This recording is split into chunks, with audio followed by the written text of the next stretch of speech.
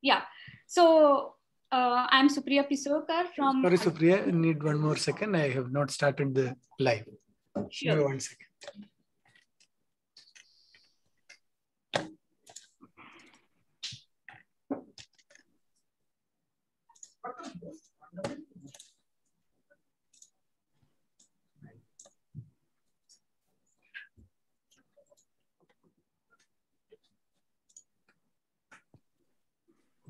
So should I start? Oh, oh so you he's waiting for you and you are waiting for me. Yes, yes. So Vivek, tell me, huh, when uh, Sure, sure, sure. So this is uh, one second. It will be set.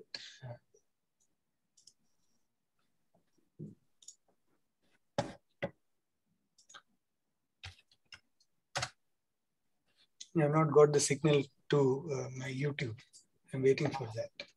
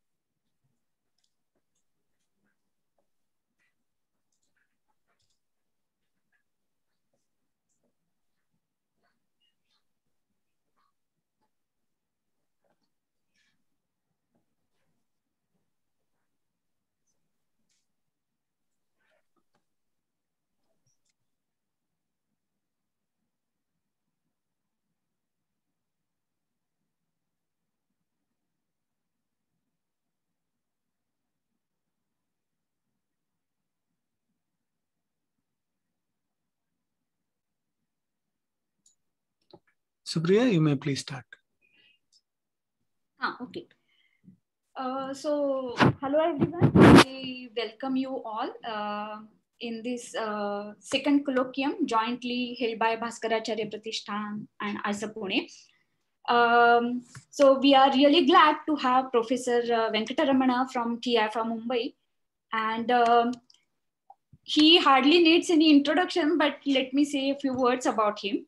Uh, so his uh, research interests are uh, Lie groups, arithmetic groups, and also automorphic forms. He is uh, one of the leading mathematicians in the world uh, working in these areas. Uh, he is recipient of many prestigious awards uh, like Young Scientist Award, Birla Award, ICTP Prize, Shanti Swarup Bhatnagar Award. He is a fellow of Indian Academy of Sciences, Bangalore.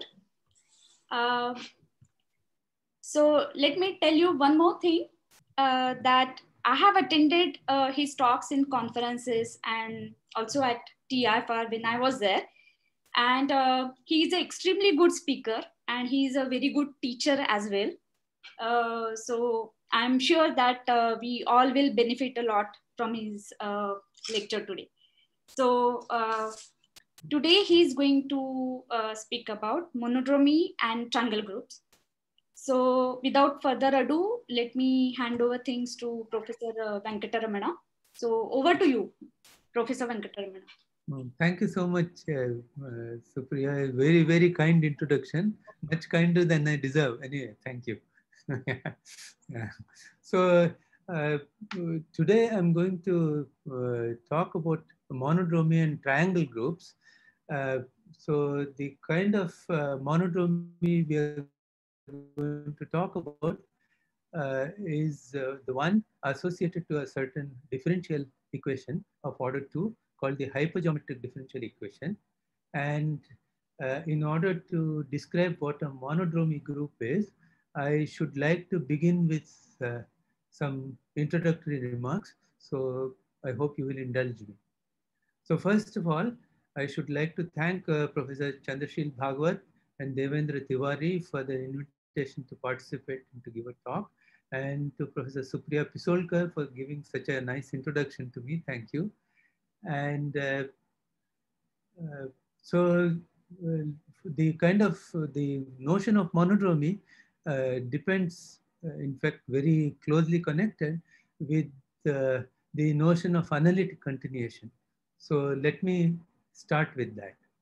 So this analytic continuation is also associated to something called uh, multi-valued uh, functions. Actually, as uh, all of you know, uh, functions are never multi-valued. You know, it won't be called a function, but I believe in 19th century, when people were looking at complex analytic functions, the notion of multi-valuedness was routine, except that this multi-valuedness was uh, to be viewed as a single valued function, not on the space itself, but on a certain what's called a covering space. So the kind of multi-valuedness uh, that uh, that can occur is already seen in the logarithmic function. So the log function, log 1 plus z with, uh, with some factor attached is this function y of z, uh, which has a convergent power series expansion for mod z less than 1. And this expansion is yz is 1 upon 2 pi i summation n equals 1 to infinity minus 1 to the n minus 1 z to the n by n. So this is the infinite series which clearly converges for absolute value of z less than 1, but it extends holomorphically everywhere on C, not as a single valued function, but as a multi-valued function, except at the point minus 1.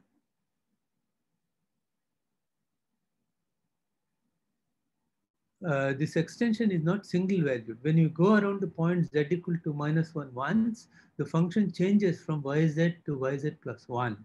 You can easily see this. The logarithm, you can view this as uh, uh, the value of the angle. And if I go around the point z equal to minus 1, the angle changes from uh, 0 to 2 pi i. And if I get rid of this factor 1 upon 2 pi i, that's why we have introduced it, then the function logarithm uh, goes to log z, goes to log z plus 1, except that it's not quite log z, it's log divided by 2 pi i. So this can be made into a genuine function on the infinite sheeted simply connected covering, namely C of the space C minus, uh, minus 1.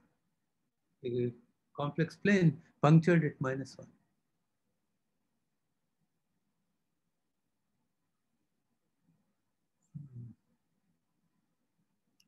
So the process of going around the point z equal to minus 1 is called local monodromy action. And one says that the monodromy action on the function is by sending y to y plus 1. Now this function logarithm of uh, 1 plus z also satisfies a differential equation. Namely, if I differentiate the logarithmic function, multiply by 1 plus z, I get 1. So if I want to think of it as a linear differential equation, this equation is not linear. The solutions can't be added, not subtracted. You can't scalar multiply. So if I want to make it into a linear equation, I would like to differentiate it once more. And that satisfies this differential equation as you can easily verify. Now the solution set of this equation is a vector space. Uh, at every given point, if you have one solution, uh, two solutions, you can add them, scalar multiply them. So you get a vector space of solutions at every point. So the coefficients of this differential equation are nice function. They're regular functions on all of C. So the space of solutions of such an equation is two-dimensional, as I said before, and it's spanned by the logarithm of 1 plus z. You can divide by 2 pi i if you like, and 1 plus logarithm of 2 pi, uh, 1 plus z divided by 2 pi i. So you could also say it is spanned by the constant function. The constant function also satisfies this equation. And log of 1 plus z divided by 2 pi i. Now the deck transformation group of this covering map uh, takes y to y plus 1 and 1 to 1. So it is actually a unipotent matrix. 1 goes to 1 and the second vector y of z goes to 1 plus y of z. So the uh, it's a 2 by 2 matrix, uh, which is of the form 1, 1, 0, 1, uh, the upper triangular unipotent matrix. So this is a general fact. When you have a singularity, which is uh, what we call, call as a logarithmic singularity, then the action of the monodromy group is unipotent. So in this case, something nice is happening. The monodromy group is the, just the group of integers if you parameterize everything properly. And it is hence a discrete subgroup for the group of all translations. So let me uh, take one more example. This is also multi-valued as you can see, you're taking the square root of something. So you can write this square root of 1 plus z as a convergent power series. So using the binomial theorem due to Abel, you can write this as a convergent power series which converges in the disk mod z less than 1.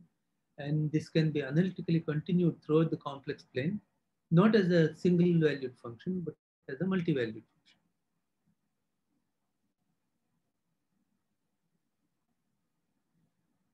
So the effect of a small loop around z equal to minus 1 is to change the solution to the solution minus square root 1 plus z. So the monodromy action is by the group z mod 2z. So the finiteness of the monodromy actually here amounts to saying that the function square root of 1 plus z is an algebraic function. So this is uh, almost equivalent. The monodromy action is uh, by a finite group if and only if the, the solution function is an algebraic function. The monodromy action is trivial if and only if the solutions are holomorphic throughout the domain.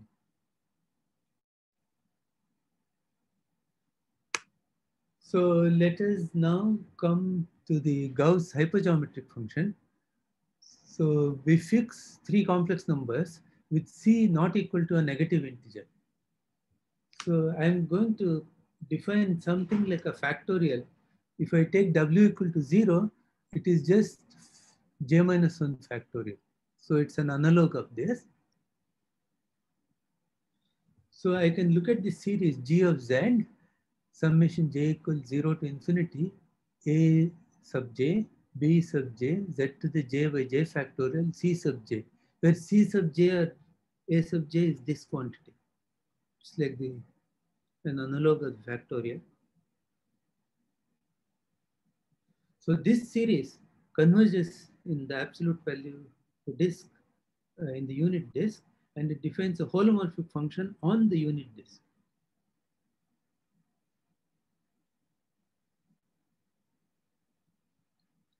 But uh, you can analytically continue it uh, throughout the plane except at 0, 1 and infinity. But it's not a single valued function, it's multi-valued on this uh, domain, p1 minus 0, 1, infinity. So if you want to think of it as a good function, as, as a function in fact, you have to regard this space p1 minus 0 and infinity as uh, something which is covered by the upper half plane.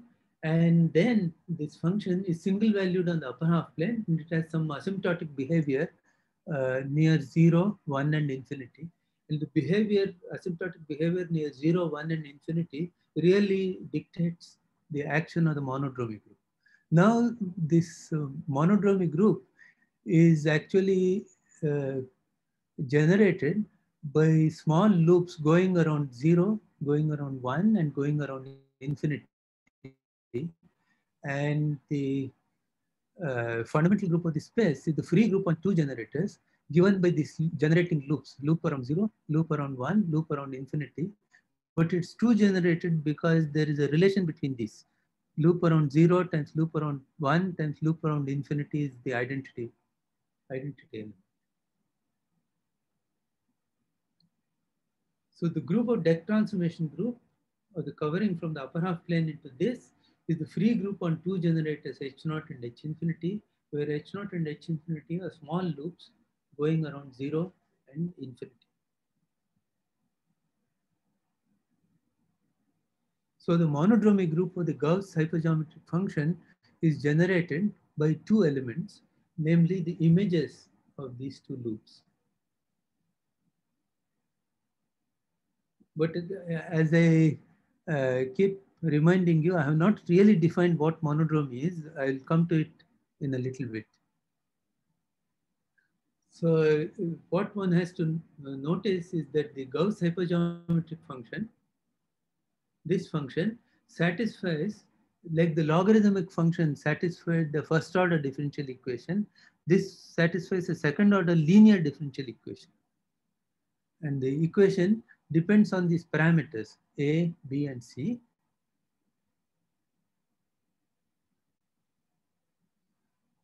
So I'm going to write theta equals z d by dz.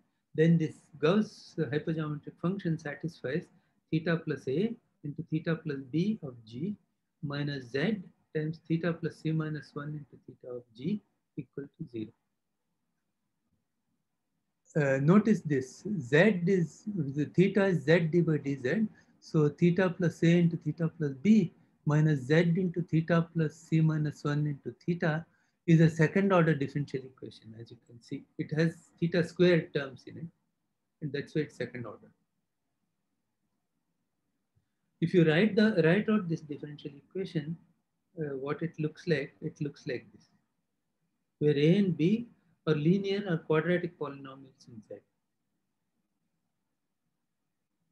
So the whole differential equation, if you want to make sure that the highest coefficient is monic, you have d squared g by dz square divide plus something like a by z square into 1 minus z dg by dz plus b divided by z square into 1 minus z g equals 0. So the coefficients, if you make it monic here, the coefficients have a double pole at z equal to 0, uh, probably a single pole at z equal to 1, and here also.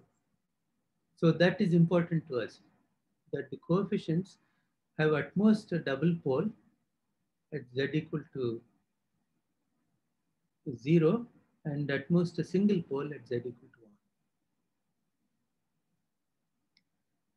So the space of solutions of uh, this differential equation is two-dimensional. One of the solutions is holomorphic at z equal to 0, namely the Gauss hypergeometric function. And the monodromy action gives a representation of the free group on two generators into GL2C. This is called the hypergeometric representation. So far, I have only said, you know, uh, this monodromy in very general terms. One can define it uh, more precisely.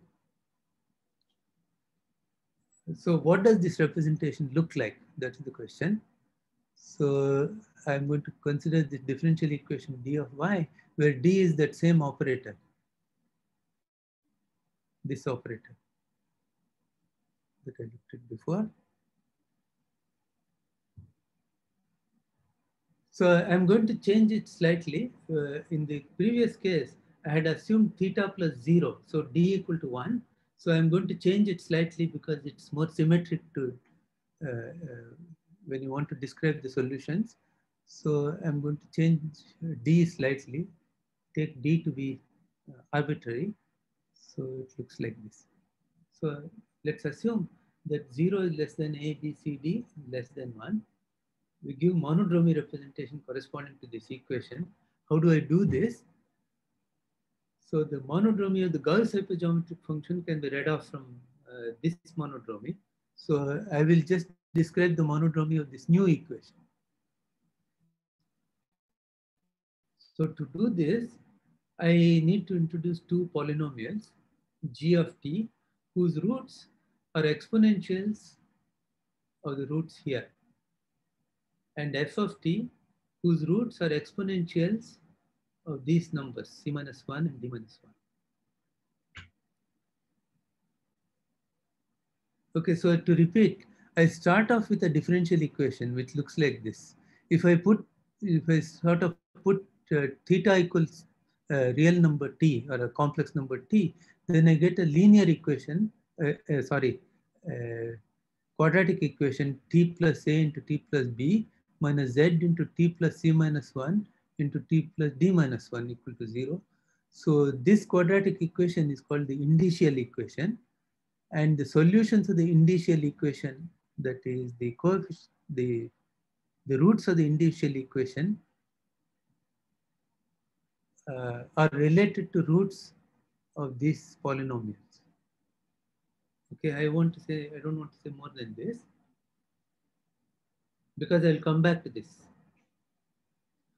So uh, given these two polynomials, f and t, f and g, I can consider uh, their companion matrices.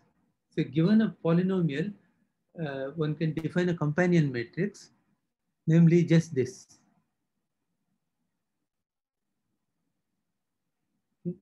So the hypergeometric representation corresponding to this equation is actually given by uh, a representation of the free group on two generators.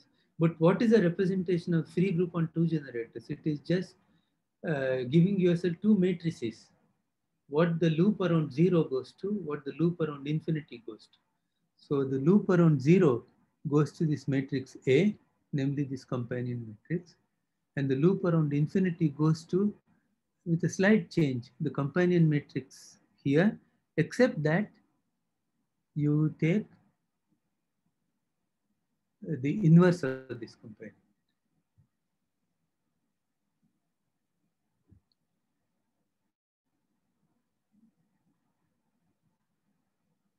So this is, I have just described completely what the uh, monodromy representation for the Gauss hypergeometric equation is, but it just looks like a bunch of assertions without any proof.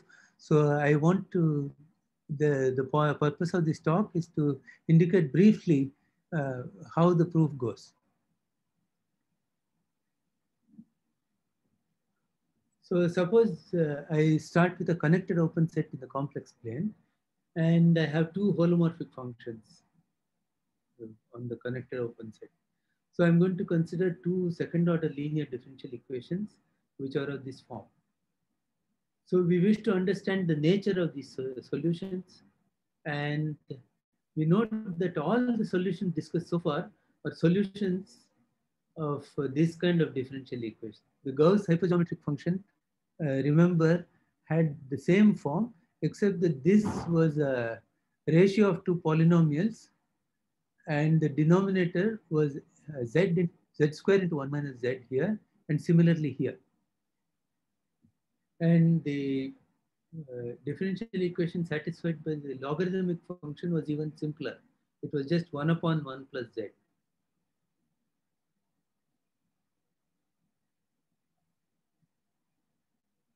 So the notion of monodromy actually depends uh, strongly on this theorem of Cauchy.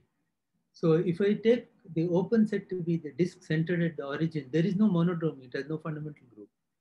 So the Cauchy's uh, theorem says that in such a case, this second order differential equation, whose coefficients are holomorphic functions on the disk, has two holomorphic solutions which are linearly independent. And the proof of this is not very hard. You have a differential equation, you want holomorphic solutions. So you write down the uh, putative holomorphic solution as a, uh, as a power series. So you have a power series uh, in one variable with unknown coefficients, and you have these uh, power series which are known coefficients, f0 and f1. You write out all the, uh, you know, you have this power series which is equal to zero, which means all the coefficients are zero. So you get a linear recursive relation between the coefficients. And this linear recursive relation actually gives you a convergent power series. That's what you have to check. So it's very easy to get a formal power series solution by simply solving an infinite collection of linear equations, which are uh, recursive. And you just have to check that these solutions converge. So that is Cauchy's proof. And all the solutions are complex linear combinations of these two solutions. And these two solutions are called fundamental solutions. So this has nothing to do with monodromy because after all, uh, it says that given the disk uh, and given such an equation, you have two linearly independent solutions which can be solved uh, in the disk. And all solutions are linear combinations of these. So now suppose I have a connected open set and I have a fixed point. You know, I would have liked to draw pictures here. Actually, it's very easy to see from pictures, but unfortunately in TeX, when you're doing this, it's very hard to write down pictures. So I have to just say it in words. So I have this um, uh, fixed point. So I have a loop uh, starting and ending at uh, this point Z0. So I could cover this loop by finitely many small disks uh, lying in U and I solve the differential equation in each of these disks. So when I start at Z0 and fix a solution in Z0, go around this loop, uh, at each point in this loop, I get a little disk where I, using Cauchy's theorem, I solve the differential equation.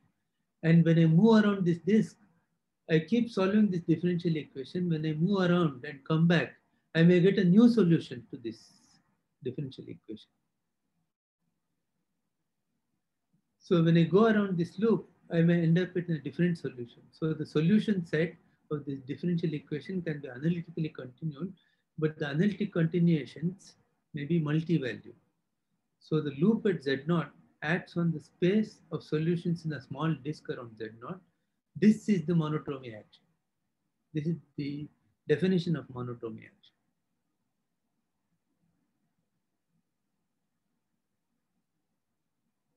So as an example, take a punctured disk. The fundamental group is uh, Z generated by a circle going around the loop exactly once. So the monodromy representation for this uh, kind of differential equation where F0 and F1 are holomorphic on the punctured disk. So the crucial point is that you don't know what happens at the puncture. If they were both holomorphic at the puncture itself, then Cauchy's theorem says all the solutions are holomorphic even at zero. So there is no monodromy action. The monodromy action will be trivial. If both F0 and F1 are holomorphic even at the puncture, there is no monodromy. Okay, so the uh, if F0 has a pole or pole of order two or something, this has a pole of order one, then you will have monodromy. So in general, the monodromy representation giving yourself a two by two matrix in the case of a punctured disk. The image of the generator under the monodromy. So that's the monodromy action.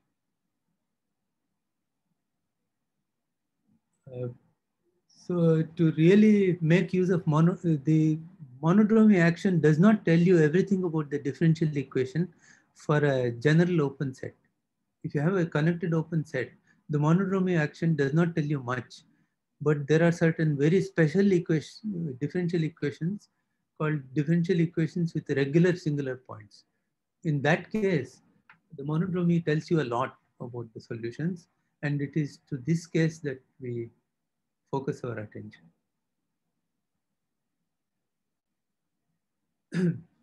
so we confine ourselves to order two differential equations, which are of this form.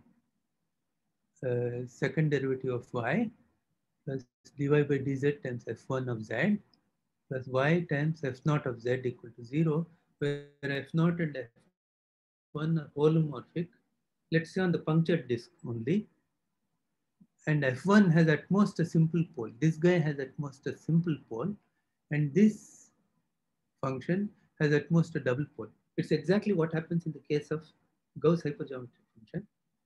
Then you say if these things happen, then you say, excuse me, that the point zero is a regular singular point of this differential.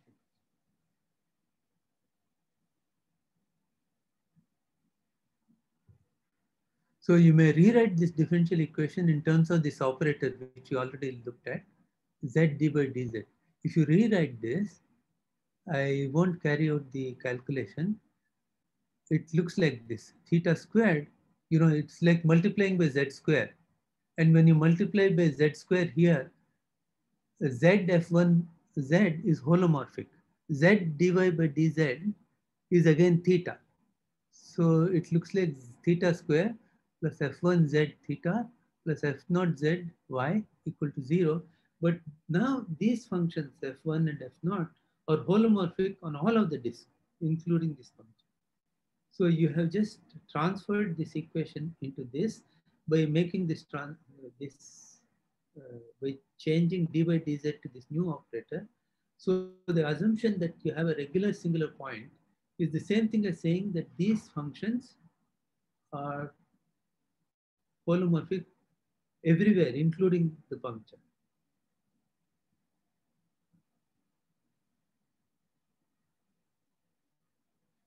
So now when you have this uh, equation, uh, here, uh, second order differential equation, you get a polynomial equation where you substitute theta by uh, variable t and uh, these functions by the values of uh, these holomorphic functions at zero at the puncture. So t square plus f1 0 t plus f naught 0 equal to 0. So this is called the indicial equation and the roots of this indicial equation are called indicial roots. So to repeat, uh, the general monodromy action on a connected open set, even on punctured disk, does not tell you too much about the nature of the solutions, but it tells you quite a bit if the solution, if the differential equation is nice, in the sense that zero is a regular singular point of the differential equation. And it's only in this case that we will uh, consider what the monodromy action looks like.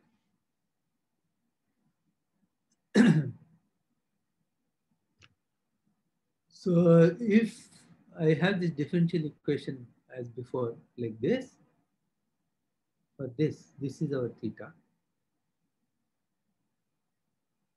It's a second order differential equation on the punctured disk with zero as regular singular point. Then the roots of the characteristic polynomial of the main monodromy matrix, what do they look like? The roots of the characteristic polynomial are of the, are of the form exponentials. Oh, this is not pi, but pi, pi. Sorry, there is a slash pi, I think. e to the 2 pi i beta 1 and e to the 2 pi i beta 2 where beta 1 and beta 2 are roots of the indicial equation. You see, as I said, the monodromy in this case is just giving yourself one matrix because the fundamental group is Z. And the characteristic roots of the monodromy matrix are just exponentials of the roots of the indicial equation. e to the 2 pi i beta 1, e to the 2 pi i beta 2. So if beta 1 minus beta 2 is not an integer, these are distinct roots. So then uh, the general theory of differential equation says that there is a basis of solutions of the form z to the beta 1 h1z, z to the beta 2 h2z, where h1 and h2 are holomorphic on all of the disk, including the puncture. And so the only uh, monodromy action is here, z to the beta 1, z to the beta 2. If you remember, z to the beta 1 you can write as e to the beta 1 log z. And log z had monodromy, uh, like z log z goes to log z plus 1. So e to the beta 1 log z goes to e to the beta 1 log z plus 1. So that is, that is why it pulls out the scalar e to the beta 1 it's not quite to the beta 1, e to the 2 pi i beta 1.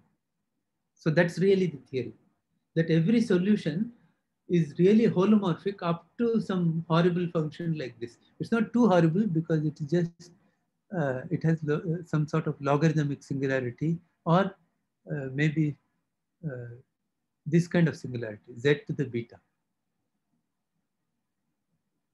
So the, the differential equation like this has nice monodromy uh, action, provided it is uh, it is a regular singular uh, zero. The puncture is a regular singular point.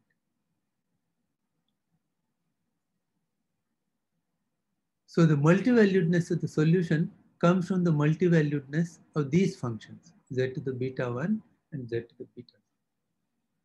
If beta 1 minus beta 2 is an integer, then there is generally one more solution that has logarithmic singularity. And I don't want to complicate matters by talking about that. So let's ignore that for the time being.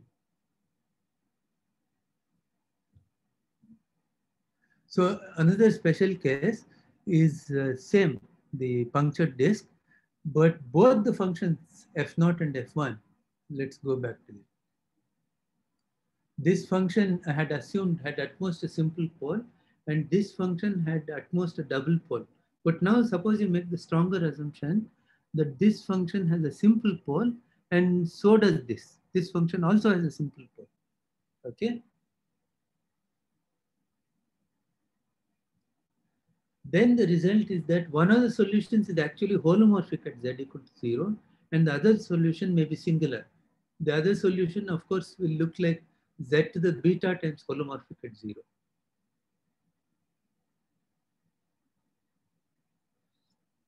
So the monodromy uh, matrix will have a fixed vector because if the solution is holomorphic, the monodromy action is trivial. So it will have a fixed vector. So such a matrix which has a fixed vector is usually called a complex reflection. So we can apply this theory. You know, we have, it's not much of a theory. It is just uh, Cauchy's theorem uh, for the disk, followed by uh, the theory of regular singular points uh, for uh, dif differential equations of order 2 for the punctured disk. So if we apply this theory to this kind of differential equation, theta plus beta 1 minus 1, theta plus beta 2 minus 1, z theta plus alpha 1, theta plus alpha 2. Now let us look at the behavior of the space of solutions dy equal to 0 at z equal to 0. At z equal to, when z equal to 0, this term disappears. So the indicial equation looks like t plus beta 1 minus 1 into t plus beta 2 minus 1 equal to 0. So very simple. The roots of the indicial equation are just 1 minus beta 1 and 1 minus beta 2. And so what should the solutions look like? They are z to the 1 minus beta 1 times something holomorphic, z to the 1 minus beta 2 times something holomorphic. So the monodromy action is e to the 2 pi i minus beta 1, e to the 2 pi i minus beta 2. So it is multiplying by those two scalars, e to the minus 2 pi i beta 1, e to the minus 2 pi i beta 2. Two solutions of this.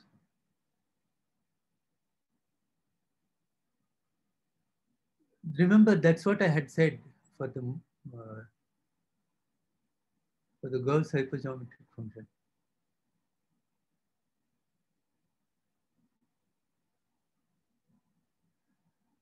Uh, for the Gauss hypergeometric function, the monodromy action has characteristic roots e to the 2 pi i c, e to the 2 pi i d. But c and d have been now changed to beta 1 and beta 2, or maybe a and b, beta 1 and beta 2 minus 1. So the roots are e to the 2 pi i beta 1, e to the 2 pi i beta 2. That's what the general theory says. And that's what this says. The uh, once you are given what the indicial equation is, you are given what the characteristic roots of the monodromy matrix are. And uh, the characteristic roots uh, are conjugate to this uh, companion matrices. The, the, the, the monodromy matrix is conjugate to this companion matrix and this companion matrix.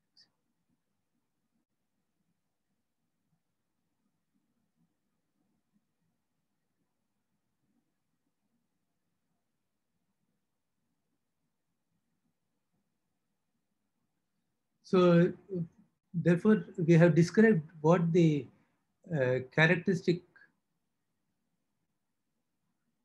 uh, roots of the companion matrix here are. It is e to the 2 pi i beta 1, e to the 2 pi i beta 2, and here also. So at least up to conjugacy, we have described what the monodromy representation is.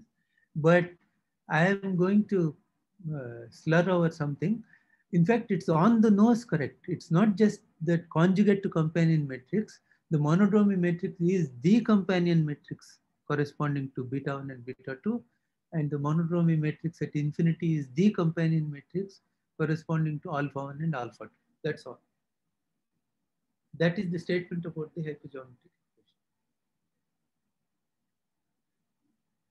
Now, uh, just by using this uh, general theory, uh, you can actually deduce uh, that when the monodromy, when the hypergeometric function is an algebraic function, remember, we wanted to prove that the hypergeometric uh, function is an algebraic function, but that is the same thing as saying that the monodromy of the hypergeometric function is finite. But it so happens that the uh, monodromy matrix in general, whenever you have uh, this kind of description, in general, it preserves a Hermitian form. And the uh, signature of the Hermitian form depends on the variables, depends on these variables beta 1 and beta 2, beta 1 and beta 2. So what the signature is, it will depend very much on that. And uh, uh, so what Schwarz did was to find out for what uh, parameters ABC or beta 1 and beta 2 alpha and alpha 2 is the signature uh, of the form 2 comma 0. When is the Hermitian form positive definite? And uh, he, he, had a very nice solution to this. And uh, the, the finiteness of the monodromy group actually uh, amounts to finding out which are the finite subgroups of GL2C, which are which act irreducibly for some reason. I have not explained to you why the action should be irreducible. So what are the irreducible subgroups of GL2C? And then he determined that also these irreducible subgroups are the dihedral group, the icosahedral group, the octahedral group, the tetrahedral group, and so on. It's a finite list. It's called Schwarz's list. You can actually look it up in the in uh, Wikipedia. So uh, I think this kind of um,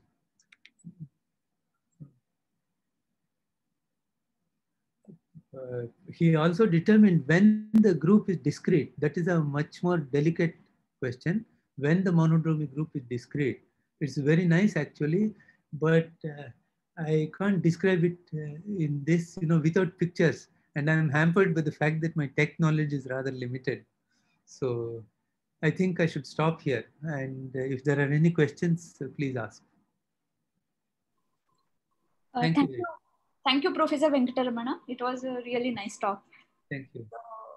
Uh, so, uh, maybe I finished a bit early because you know this kind of PowerPoint talk is not something to which I'm used. No, no, that's absolutely fine. No problem. Uh, so, in the if can anyone has question, uh, you can either type it here and I can read. It. Yeah, yeah, Professor. Uh, can the cyclic group not arise? Excuse me? Cyclic group? Cyclic group. Ah, with the action is, uh, if you choose the parameter correctly, that's a good question too. Okay, so I was a little bit careless. Here I have to make sure that uh, alpha 1 minus beta 1 and alpha 2 minus beta 2, alpha 2 minus beta 1 alpha 2 minus beta 2 are not integers. That's a necessary assumption for us. In such a case, the monodromy representation on the two-dimensional space of solutions is irreducible. So once the monodromy representation is irreducible, uh, the cyclic group cannot arise. So that is why we have to look. Uh, yeah, yeah. Thank you. So I had to assume that I somehow, I think somewhere I mentioned it, but not here. Let's go back.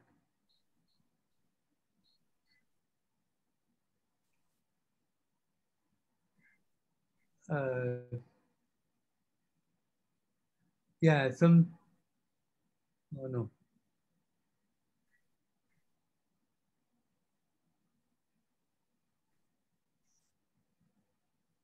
Okay, so I have to assume that this A, B, C, and D are such that the differences uh, D minus A, D minus B, C minus A, and C minus B are not integers. That's very important. Otherwise, you can have uh, kind of reducibility and uh, yeah, yeah. So Z can arise, but for such parameters. But Schwarz always assumes that these uh, differences are never integers. Yeah. Um, when do the more interesting and infinite triangle groups arise? Ah, okay. So uh, that is exactly when the uh, when the signature is uh, negative. I mean, sorry, a certain determinant is negative. We we can find out the um, the signature of the uh, uh, of this equation. Um, you know, I said that the monodromy group preserves a Hermitian form. The signature of the Hermitian form depends on the parameters. Okay, and uh, uh,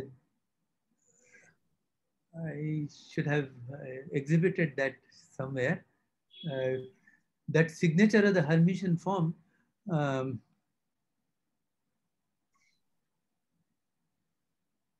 forgotten actually. How that how it depends on the parameter is uh, ah okay. So I can I can tell you uh, when is it finite? When is the when is the group finite? There is a nice way of saying it. So uh, let us the group is finite if and only if beta 1 and beta 2 are between 0 and 0 and 1, alpha 1 and alpha 2 are between 0 and 1, and they intertwine. They are rational numbers. Beta 1, beta 2 are rational numbers. Alpha 1, alpha 2 are rational numbers. And they intertwine. That is, between beta 1 and beta 2, there is an alpha. And between alpha 1 and alpha 2, there is a beta.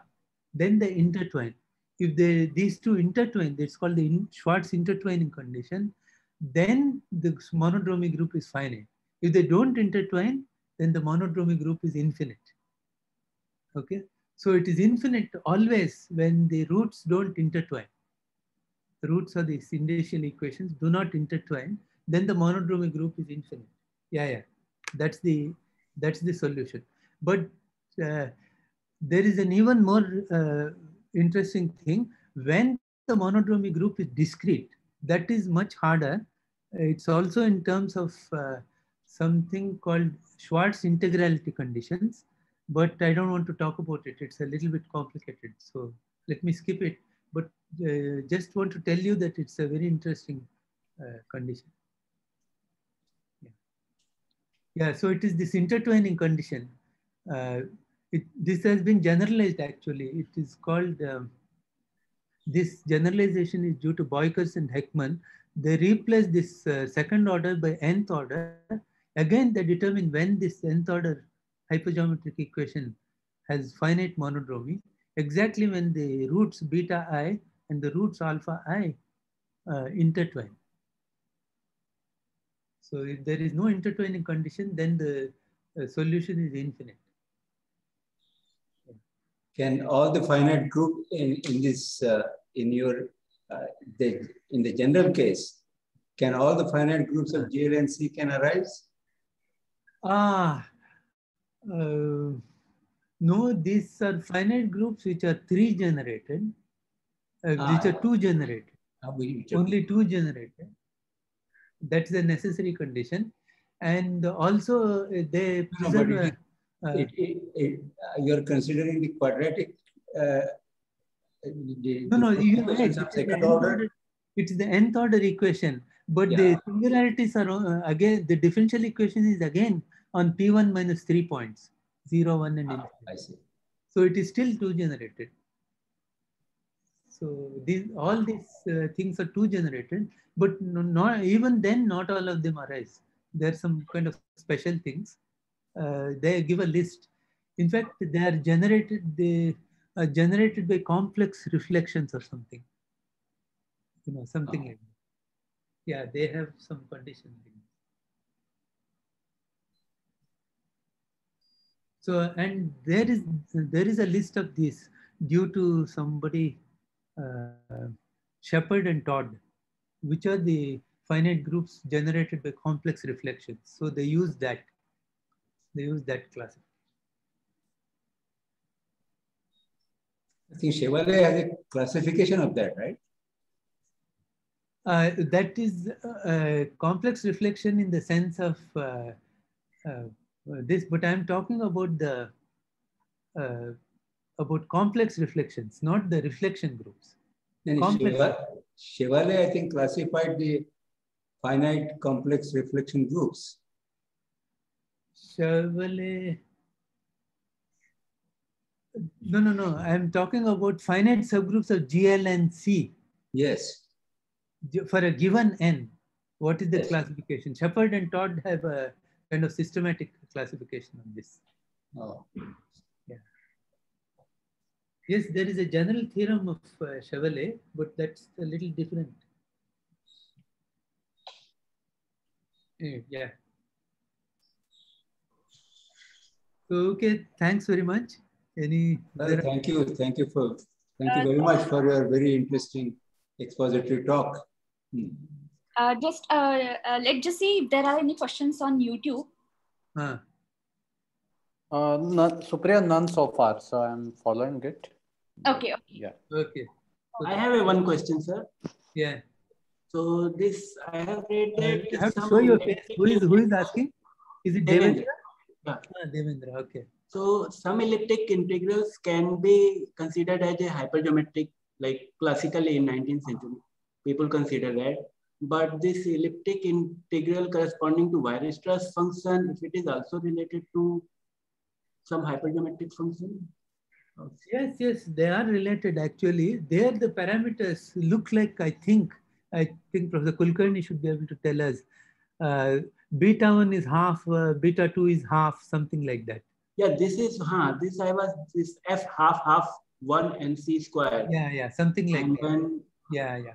The, So it is elliptic integral of first kind and then second kind would Yeah, be minus half half one. I, I should be, I should actually have talked about that also because, you know, the Schwarz hypergeometric function that the, sorry, Gauss hypergeometric function is related to what is called period integrals on certain cyclic coverings of P1 minus three points. Okay. Like, and uh, the elliptic curve is also a cyclic cover covering, namely a two-sheeted covering Okay. of P1 minus three points. So it's exactly like this. So it's a special case. So this Weierstrass P functions relates with the hypergeometric theory, right? Yeah, yeah, yeah, they do. Now, could you suggest a reference where I can find any chapter or paper? Uh, mm, okay, cyclic cyclic coverings of P1. You know, uh, there is a there is a book by uh, I- um, I, why don't you do a Google search? I also did that. There's Yeah, a I, I was there's a Dutch mathematician. Dutch mathematician who has written a Springer lecture notes Okay. on cyclic coverings of Rohde, R-O-H-D-E, Rohde. Okay, okay. Huh? So he has written a book on cyclic coverings of P1, and I think he treats this uh, uh, elliptic uh, functions as a special case very early on in that book. Okay, okay. So, but he considers much more general cyclic covers, but uh, you know, you can just look at uh, Thanks. Thank you, sir. P1 month. Sure. So uh, thank you, Professor Venkataramana. It was really a nice talk. Uh, thanks a lot for your time. Sure, thank you. So from now on, I will be able to attend the as an audience, which with which I'm much more happy. Thanks. Yeah. Uh, so let me just uh, mention here that uh, next Tuesday, uh, uh, the talks will be uh, by uh, Professor Alexander uh, Mednykh at uh, 4 p.m. and uh, then by Professor John Parker at uh, 5.30 p.m. Okay, thank you. Yeah, yeah. I'll attend. I click Kavrin Labe or Vivek, uh, Christian Rodriguez. Vivek, are you going to stop the streaming?